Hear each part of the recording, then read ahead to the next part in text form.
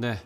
이유가 그동안은 사실 좀 이게 제재에 있어서 러시아 쪽 제재를 조금 소극적인 면이 있었습니다. 아무래도 에너지 의존도가 컸다 보니까. 하지만 이 민간인 학살의 증거들이 이제 속속 전해지면서 이제 칼을 빼든 상황이 됐는데요. 관련 이슈 좀 정리를 먼저 해보겠습니다. 이성훈 기자. 네.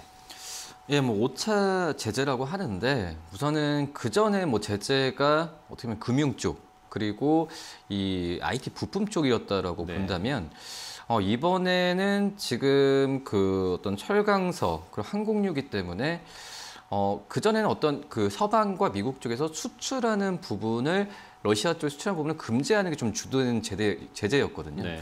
하지만 이제 러시아 쪽에서의 생산하고 있는 이 철강석에 대한 부분에 있어서 이 수입을 뭐 금지한다라는 부분은 지금 의견이 많이 지금 엇갈리는 건 사실이에요. 네. 왜냐하면 어, 유럽 같은 경우에도 이 러시아 쪽에서의 원자재에 대한 의존도가 굉장히 좀 크기 때문에 어, 전일에 어, 유럽 증시가 떨어졌던 이유 중에 하나가 바로 이 제재 내용에 의한 이 산업에 대한 전반적인 악영향이라고 좀볼 수 있거든요. 네. 그렇기 때문에 어, 지금 현재 뭐 미국과 영국은 계속 제재 어, 적극적으로 하고 있지만 음. 뭐 말씀하셨듯이 뭐 독일, 오스트리아, 헝가리 이런 국가들 같은 경우는 의존도 좀 크거든요. 네. 그렇기 때문에 어, 이거에 대한 음, 부분은 어, 좀 약간 좀 논란의 여지가 좀 있다라고 좀 볼 수 있겠고 네. 결론은 이제 러시아가 이런 원자재 가격으로 수, 그 수출을 하면서 벌어들인 돈을 전쟁에 지금 자금으로 이용하고 있기 때문에 음. 어떤 국제적인 그런 공조가 좀 어떤 필요할 때라고 좀 볼 수 있는데 네. 지금 어, 이 공조가 나온다고 하더라도 각국 산업에 영향을 좀 끼친다고 한다면은 그렇죠. 어, 분명히 좀 시간은 좀 걸리지 않을까라고 좀 생각이 되고 있고 이 러시아산 금속 같은 경우에 대부분은 어, 세계 각국으로 알갱이로 다 흘러가고 있어요. 유럽이라고 네. 하더라도 유럽 쪽에서 또 어떻게 보면 가공돼서 또 가거든요. 이- 이러기 때문에 어, 유럽뿐만 아니라 이거는 우리나라도 마찬가지고 뭐 다른 여러 나라에도 뭐 피해가 갈 수도 있다라고 상황이 드는데 뭐 그래도 뭐 다른 얘기지만 피해 가더라도 확실히 전쟁에 대한 부분에 있어서는 막아야 되기 때문에 어 이제 뭐 제재를 해야 되는 게 맞지 않나라고 좀 생각이 되고 있고 네. 지금 이제 뭐 이제 철강뿐만 아니라 뭐 사치품 항공유라고 하는데 점점 더 세분화될 가능성이 계속 나와주고 있어요.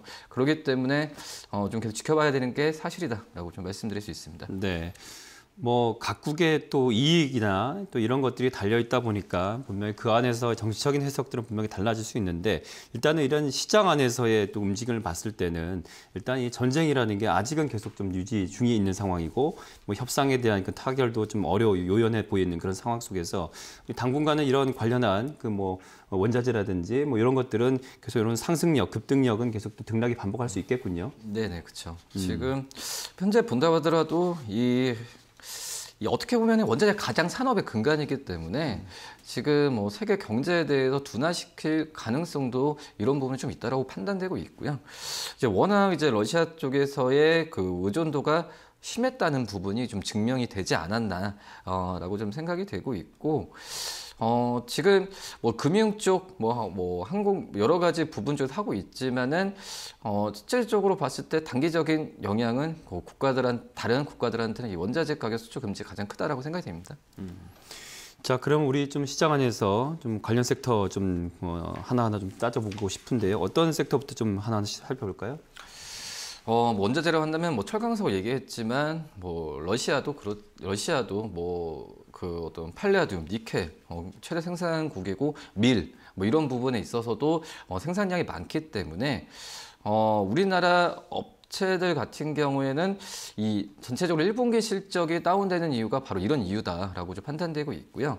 하지만 이제 수혜를 어, 보는 기업들도 그 업종도 있어요. 지금 봤을 때는 어, 중요한 부분은 이 원재재 가격이 상승을 하더라도 뭐 이런 그 제품에 대한 수요 부분이 일정 수준 계속 높아진다고 한다면 그런 업종에 대한 부분은 어, 오히려 조금 그 판가에 대한 부분에 있어서 용이하기 때문에 큰 영향은 없다. 하지만 다른 이제 그 전체적인 이 판매, 그러니까 수요 부분이 적은 제품들을 갖고 있는 업종들 같은 경우에는 마진이 떨어지기 때문에 어, 마진이 떨어지기 때문에 실적에 대한 위험 요소가 있다라고 생각이 되고 있고요.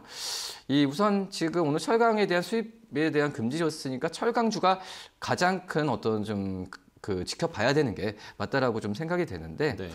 지금 이 철강 업종 같은 경우를 좀 말씀을 드리면 어. 한 1, 2, 3월 달에 다른 업종 대비 다른 업종도 안 좋았지만 철강 업종이 굉장히 좀 아- 좋지 않았다라고 좀 말씀을 드릴 수 있겠는데 어, 우선 어, 서두에 말씀드렸다시피 이 원자재 가격이 올라갔을 때 이 판가로 어, 인상되는 부분이 굉장히 제한적으로 갔어요. 이 우크라이나 사태 터지기 전에 후판 가격을 이 철강 업체들이 올렸는데 네. 그래도 이 원자재 가격이 올라가는 거에 비해서는 이 판가 올린 부분이 굉장히 좀 미미했거든요. 그렇기 때문에 마진에 대한 부분에 있어서 어, 우려감이 계속 나와주면서 이 대형 어, 이 철강 업체들이 주가가 안 좋았어요. 네. 이 철강 업체들은 대부분 이제 TC죠. 재련 수수료를 받아야 되는데 이거에 대한 마진 폭이 계속 줄어드는 상황이라고 좀 볼 수 있겠고요. 지금 현대 본다고 하더라도 이 뭐 포스코홀딩스도 그렇고 뭐 현대제철 1분기 실적은 전체적으로 다 좋진 않고 오히려 지금 2분기 실적에 대한 기대감이 지금 레포트로 증권사 레포트로 나와주고 있는데 뭐 1분기 실적 좀 감안하고 좀 가야 되지 않을까 물론 이런 부분이 주가에 좀 이미 좀 반영이 된 상황이기 때문에 저가 매수가 들어올 가능성도 굉장히 좀 큰 부분이 있다라고 좀 생각이 되고 있고요.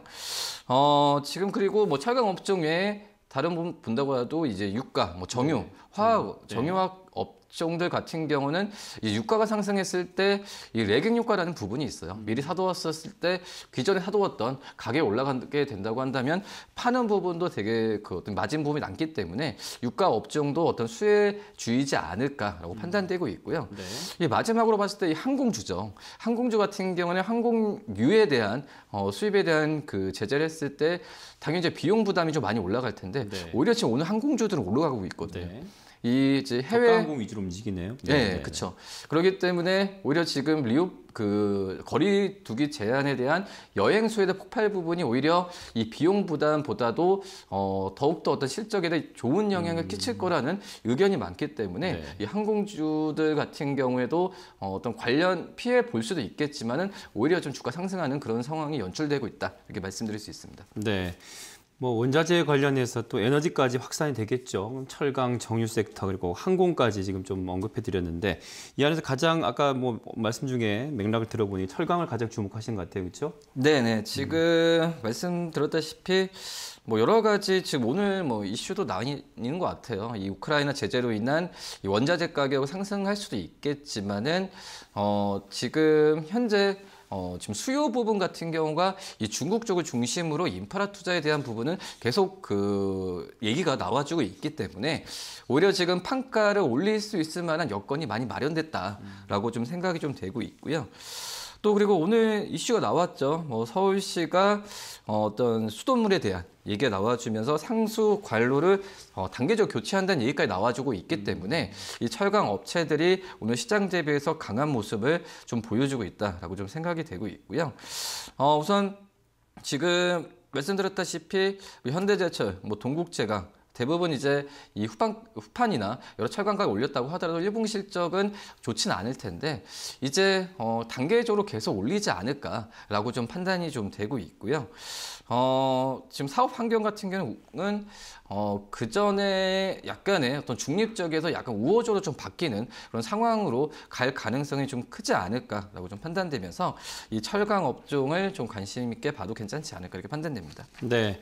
자, 그러면 주요 종목들도 좀 짚어 주시죠. 기술 흐름은 좀 어떻습니까? 어, 우선은 뭐 포스코홀딩스를 제외하고 네. 현대제철 같은 경우에 어, 주가 흐름은 뭐 좋진 않아. 대부분 종목들이 좋진 않은데 이 현대제철 같은 경우에도 뭐 1분기보다도 2분기 때의 이 실적에 대한 기대감이 더 크다라고 좀 생각이 되고 있고 지금 봉영강 제품 같은 경우에 현대제철이 가장 어, 주력으로 하는 게 이 봉영강이거든요. 네. 이 봉영의 제품 같은 경우에는 이 고철 가격 상승 부분에 있어서 2분기 때부터 실적에 대한 반영치가 지금 증권사를 통해서 긍정적으로 좀 나오고 있는 상황이라고 좀 볼 수 있겠고요. 네. 어, 그리고 이제 뭐 그나마 좀 철강 업종에서 최근에 가장 좀 좋은 게 바로 이제 고려아연이라고 볼 수 있거든요. 네. 이 고려아연 같은 경우는 이 어떤 은 가격이나 뭐 금은 이런 부분 가격의 상승 부분에 있어서 오늘도 지금 신고가를 좀 기록했는데 지금 이제 1분기 실적에 대한 부분은 오히려 지금 다른 철강 업체들 대비해서 어 굉장히 좀 그 추정치가 높아지는 폭 높아지는 폭이 어 크게 좀 올라가고 있다라고 좀 말씀을 드릴 수 있겠고 여기에 좀 아연 가격 상승도 좀 있지만은 이 원달러 환율에 대한 어, 수혜 부분을 다른 제철 업체들보다도 이 고려아연 쪽에서 가장 수혜를 본다라고 저는 평가가 많기 때문에 이 고, 아연 업, 이 금속 업, 이 철강 금속 안에서도 이 고려아연의 상승세가 가장 눈에 띄게 대형주 중에서는 어, 나타내주고 있다라고 좀 생각이 되고요. 그 다음에 이제 뭐 동국제강 같은 경우에도 어, 주가 부분은 약간 현대자동차와 비슷한 호- 모습을 보여주고 있어요. 역시 일, 1분기보다는 2분기 때 실적에 대한 기대감이 더 크다라고 판단되고 있고요. 지금 이제 2분기 같은 경우에 이 동국제강도 이 후판의 원료라고 할 수 있겠죠. 이 슬래브의 평균 수입 단가에 대한 부분에 있어서 좀 완화되는 구조로 뭐 그전에 계약이나 이런 부분에 있어서 있기 때문에 어 1분기 실적을 어 가장 좀 최하로 했을 때 2, 3분기부터 올라갈 가능성이 있지 않을까라고 좀 생각이 되고 있습니다. 네, 뭐 철강 쪽도 그렇고요, 비철 쪽도 그렇고 이제 종목별로 좀 혼재 양상은 있지만 어, 지금 언급하셨던 종목들 중에는 또 비철 쪽이 좀 오늘 상승력이 좀 있어 보이는데요. 뭐 그 중에서 어떤 종목 가장 좀 주목하십니까? 어 여러 종목 뭐 대형주를 위주로 좀 관심을 가져야 되는데 저는 오늘 이제 말씀드릴 종목은 이제 풍산 구리 한 풍산, 그렇죠? 네, 그쵸. 이 전기동이라고 하죠. 어떻게 보면 전기동은 음, 아시다시피 그 전선 쪽에서의 구리라고 볼 수 있겠는데 네. 이 구리를 순도를 높여가지고 열 전도를 높이게 하면서 어, 그런 이 구리를 만든 게 바로 이제 풍산이라고 좀 볼 수 있겠고요. 네. 지금 풍산 같은 경우에도 이 어떤 전기동 가격이 어, 어떤 최근에 본다고 하더라도 톤당 이제 만 달러에 대한 부분에 있어서 일정 수준 유지가 될 것 같아요. 뭐 근데 이제 만 달러 선을 유지를 어, 하는 상태에서 이 전기 이 구리나 여러 가지 전선 부분 같은 경우가 이 중국을 중심으로 수요 부분이 일정 수준 계속 올라가고 있는 상황이거든요. 수출액을 본다고 하더라도 그렇기 때문에 마진에 대한 어, 기대감이 있다라고 판단되고 있고 요. 그 전에 이제 풍산의 1분기 뭐 영업이익 같은 경우에는 지금 한 450억 이하로 봤었는데 최근에 이런 부분을 본다고 한다면 보면서 이 영업이익을 470억 이상까지도 지금 잡고 있기 때문에 이 주가에 대한 부분에 있어서 이 실적과 한다면은 어, 어떤 매수 기회로 좀 삼아도 괜찮지 않을까라고 좀 생각이 되고 있고 어, 우선 음, 중국 쪽 본다고 하더라도 셧다운을 계속 한다고 하더라도 공격적인 투자를 할 수밖에 없는 상황이 계속 좀 진행이 되고 있기 네. 때문에 이 풍산에 대한 어, 수주 수요는 어, 수주는 계속 지속될 가능성이 좀 생, 어, 판단이 되고 있고 어, 우선 지금 현재 그 주가에 대한 부분에 있어서 기술적으로 본다고 하더라도 이 거래량이 많이 나오진 않고 있거든요. 뭐 한마디로 이제 그 풍산에 대한 실적의 폭발성이나 또 이제 뭐 전개동도 그렇지만은 이 방산 쪽에서의 실적에 대한 부분이 좀 크게 좀 어, 예상치가 높아지는 상황으로 간다고 한다면 주가 흐름 같은 경우는 지금 계단식으로 잘 가고 있어요. 뭐 그런 보- 그런 거에 비해서 말씀드렸듯이 이 실적에 대한 부분이 는다고 한다면 어, 상승폭은 더 크게 가져갈 가능성이 크다고 생각이 되고 있거든요. 그렇기 때문에 지금 현재 구간에서 어, 매수 관점으로 어, 접근해도 괜찮지 않을까. 현재 주가 뭐 대부분 철강 업체들이 PBR로 기준했을 때는 다른 제조 업체 대비해서 이 저평가 구간인데 특히 풍산 같은 경우에 PBR이 0.52배 수준이니까 다른 업체들 대비해서도 저평가 구간이 확실히 있다라고 좀 판단이 되고 있습니다. 네. 자, 풍수원의 1분기 실적 전망 굉장히 잘 나오고 있죠. 어떻습니까?